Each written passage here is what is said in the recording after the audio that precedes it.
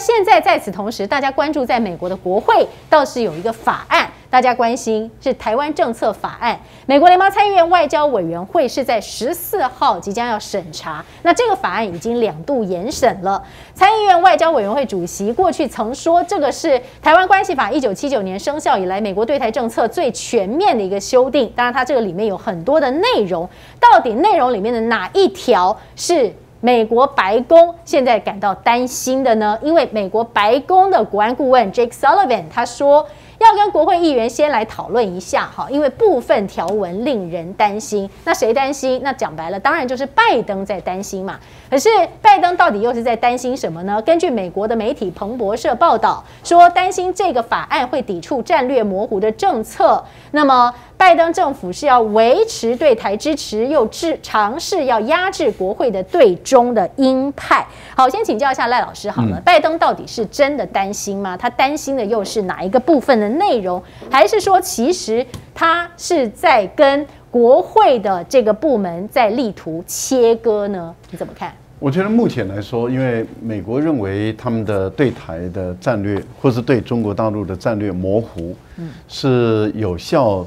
的抑制了双方之间的军事冲突，嗯，也就是说还没有到跟大陆摊牌，嗯，那没有跟大陆摊牌的话，如果说假设我们这样看，美国跟大陆摊牌了，嗯，我就是清晰战略了，那你我就是承认台湾，嗯，哦，那那中国大陆一定要有反应嘛，对，中国大陆的反应一定是两个，第一个就是跟美国那就断交，嗯，那第二个那就是武力来解决台湾的问题了。所以战略清晰，所有的这个战略家或是政策拟定者都知道，那是一个红线，你不能碰。那战略清晰是怎么样来？那就是台湾的地位的问题。所以你的招牌要换，名称要换。那对大陆来讲的话，那你已经碰到最敏感的实实质上的问题了。也就是你不管你要玩两个中国，或是一中一台，那这个时候我大陆已经没有什么。可以跟你再谈的了，也不用顾虑什么，也不用顾虑了。那这个时候中美该处理该处理一定要处理。所以这个他们对于这个部分，比方说台北金文化代表处改为台湾代表处啦，还有赋予台湾主要的非北约盟友的地位啦，这些都是让他令担心的嘛。对，这个就是苏立文有特别提到这几个部分，就是说你这几个条文我做不到嘛。你你这个非。北约盟友，那等于是还是军事盟友啊，只是我们没有签订国与国之间的军事盟友的关系。但事实上，你这个法律等于是片面的把台湾纳入他的军事盟友，那等于是军事协防条约，或者是说相互保证这个军事支援条约。那这样的一个地位出来的时候，苏利文是认为说我做不到啊。那我做不到，我要不就叫拜叫拜登不要签。那如果说拜登签了呢？哦。那签了不做，但是大陆会怎么解读？那你如果不签，那你美国的总统跟国会之间，那不是就干起来了？是。那要不就拜登就采用带中火节，就放在口袋里面放着不签。嗯嗯。然后然后等你会期过了。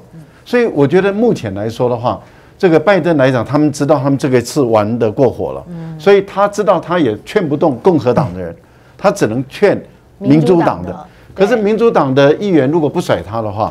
那大陆会解读就是你们在唱双簧啊，是。那我如果没有反应的话，那我不是你们跟你们玩的。那这样的情形对大陆来讲，台湾的问题一定是很快的又排到这个。例如说，假如说我们办公桌要签很多公文，那本来已经没有在办公桌上，现在搬上来了。现在办公桌里面已经从底下开始往上排了。那哪一天排到第一张呢？嗯，排到第一个公文要马上签了。对，那不是就是直接解决了？对，那我们怎么办？现在的情形是我们台湾人怎么办？被美国人玩掉，玩玩到两边开火了。这个就好像当初俄国跟乌克兰一样，当时我们台湾的留学生也说不会打了。那时候我们台湾的很多记者不是跑去问。留学生说不会打了，没有要打的样子了。结果讲完没多久就打了。嗯哼，那现在呢？其实这个中国大陆的官员讲什么话，那美国媒体也是高度的关注着哦。那是不是真的也在预告着说，可能不排除哪一天这个中国大陆会有采取它的行动，而且是所谓的军事的行动哦？中国驻澳洲大使孝谦，他在接受澳洲的媒体 ABC 电视台的访问的时候，主持人就问他说：“中国是否可能发动全面军事行动入侵台湾，寻求统一？”而那么他呢，当然他有针对这个呃所谓台湾是中国领土的一部分，所以他认为不能够视为入侵。不过他也说了，他说中国主张和平统一，但并不排除用和平的方法进行统一。结果呢，美国媒体《新闻周刊》哦，《Newsweek》呢就说到说，你看中国大陆在暗示有自己的台湾的特殊军事行动。哎哦，一听到特殊军事行动，马上就会想到俄罗斯的普丁啊，赖老师。呃，俄国对乌克兰，他不认为它是战争，也不认为是入侵，他只说这是特别的军事行动。两岸之间，坦白说，以严格的界定来说，到现在还是内战的延伸。嗯，只是内战到目前为止没有开火。嗯，因为前段时间很早很早以前有开火嘛。嗯，金门炮战就是嘛。是。哦，那八二三炮战也是嘛。后来单打双不打也是嘛。然后到邓小平跟蒋经国的时候就全面停火了嘛。但是并没有签协议。嗯，两方没有签协议。所以在国际的认知里面，两岸之间还是在内战。那既然是内战，就是两个两岸同属于一个国家。嗯哼。那谁代表这个国家？北京说他嘛。嗯。那台北也说我们嘛。嗯。那问题在联合国里面，他承认北京。嗯。那联合国也在会员国十几个承认台北。嗯。那那但是大部分的，尤其是大国都承认北京，所以台湾就在大国里面。在美国、日本等大国中，你台湾不是一个国家，你是一个团体，他们叫做自治团体，你也可以称为武装团体，哦，那就是两岸之间还可以开火。那这一次的大陆公布的这个对台的政策里面，就讲得很明白。白皮书对白皮书里面讲得很明白，就是用和平的方法来统一。对，这个是大方向。是，但是一直不会承诺，嗯，说那个放弃武力，他不承诺放弃。对，那我觉得这位大使只是重申，嗯，他们的这个对台政策白皮书是，我觉得只是重申而已。但是你看美国的敏感媒体马上就说，哎，这是不是台湾的特别军事行动？是啊。事实上，两岸的内战。还在进行，只是因为两边没有签和平协议，这就是为什么前段时间。